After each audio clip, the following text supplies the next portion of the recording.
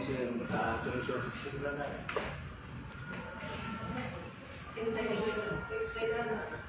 Ah, si Sir. Ako na siguro na yung explain. Hindi siya resolution. And uh, reversion. Hindi 5.4. Kaon dyan ay trailing nga issue nga naitabo ni inyong bayan.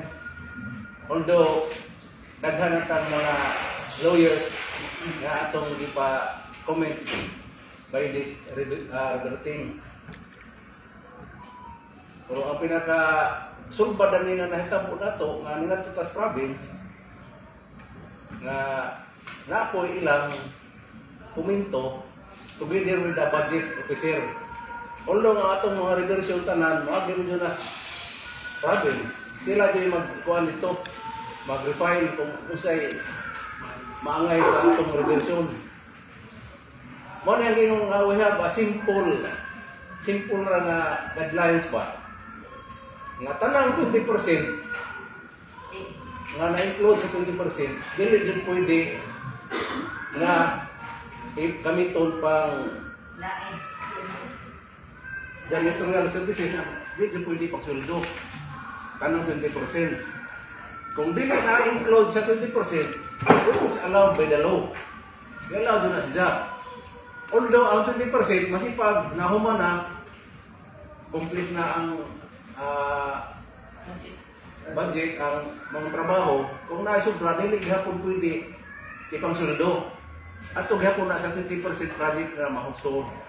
So klaro man din eh, ang atong from, kanang from o to, kanang to, ato man dyan ang repair sa atong municipal budget na si Ma'am Aida, wa dyan na sila masuhod sa maong 20% for the year 2022. Siguro na sa ingon nga sila yung expertise na sila nahibaw kung unsay mga nasuod na ng maong budget. So, it is clarified na dyan sa atong budget officer na wa dyan na sila masuod sa 20%. Kaning atong mga gikas from PPS wa dyan na sila masuod. So, mao po na i-advise sa atong past PLO o sa uh, budget na kung di, let's go. Go na nga itong reversion. Wala yung problema.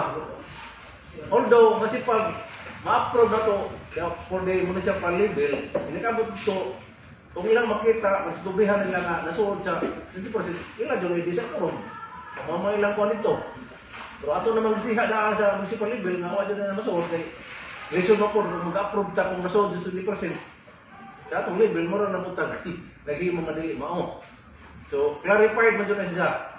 All these items nga wala dyan na masuod sa 20%. So, manao ito nga, ato po na masaktan sa atong mga kauban na wala dyan na masuod sa 20% nga mga items. So, for this, in this resolution, Mr. Sir, kato itong yapon, isa IP mo to, Madam Secretary, no?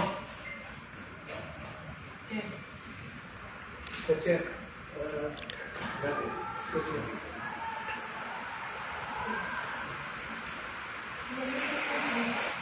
For this resolution, Mr. Chair, I move to approve uh, this resolution number 2023-10-006.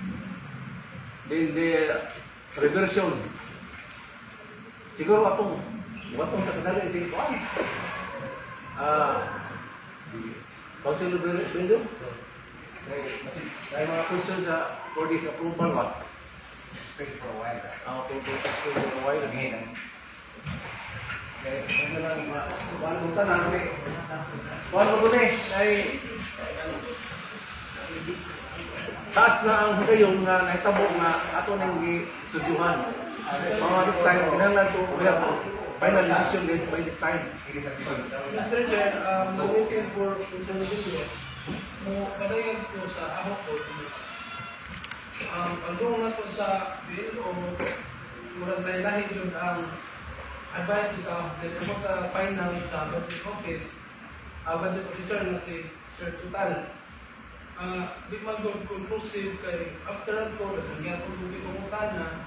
So, yan nga akong stand kung kung kumutan-on, affirmative ko, pero mahongyo ko sa body nga para safe ka, ang kwarta regarding regarding the funds sa municipal knowledge kasi sa katong building ba kay mga katong sa social dito Di, na to ipa-release unless approved ordinance SP di ko ganun. Respect.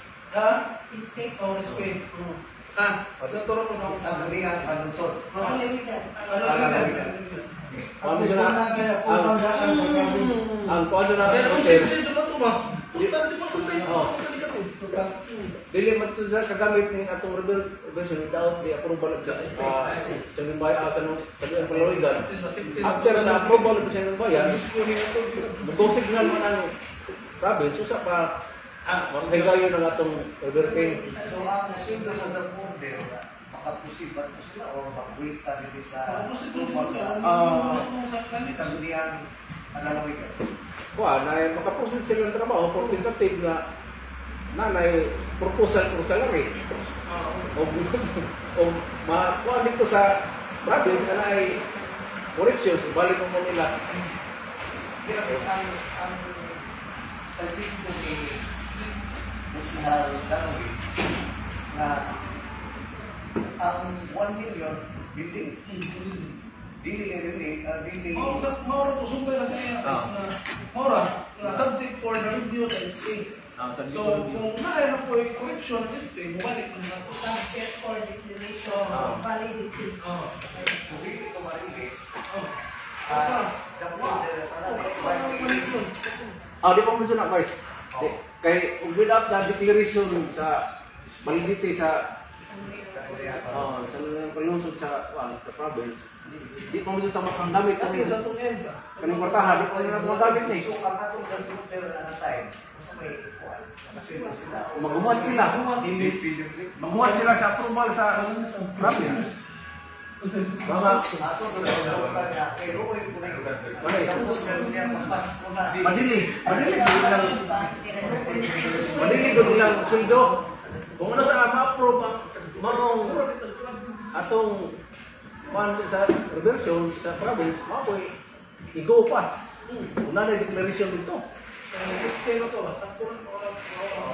The best thing for you to do is, na may mga contact dito sa mga group na bukas. Mga paspas lagi.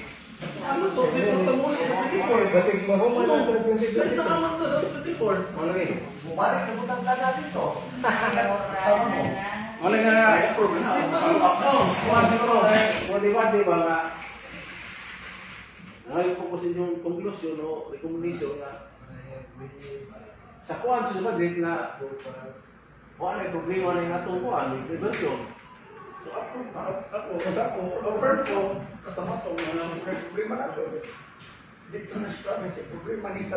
Yung mo nang ingon nga, masipag ma-approve na to sa atong municipal level, eh, abot ito nga, Kasi nga nakita. wala nakita nga diferensya, ilan ito nang So, ma'am, mahuman na naman 2020 kaya tingnan na to, dahil ito na ma-approve nito. Okay.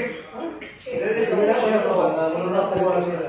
So, ang muli ko, Mr. Chair, I move to approve the reverting of the total amount of 5.4 million from the appropriated savings and completed projects from the unimplemented programs, projects and uh, activities for the uh, current and prior years from general fund. Eh? From general fund? General fund proper and savings. Reproputing for the implementation and emerging various PPAs as listed below and endorsing the same and the same bayan for the final approval. Thank you, Mr. Chair. There is a motion of Honorable uh, Lito Casturo. Uh, any second? Uh, duly seconded by Honorable Mateo Bernardo for approval of uh, MDC Resolution number 2023-10 006 revision of 5.414 398.43 from various sources for the implementation of various emerging PPAs. Uh, There is, uh, is there any objection, discussion? The chair hearing none, if this resolution is now approved.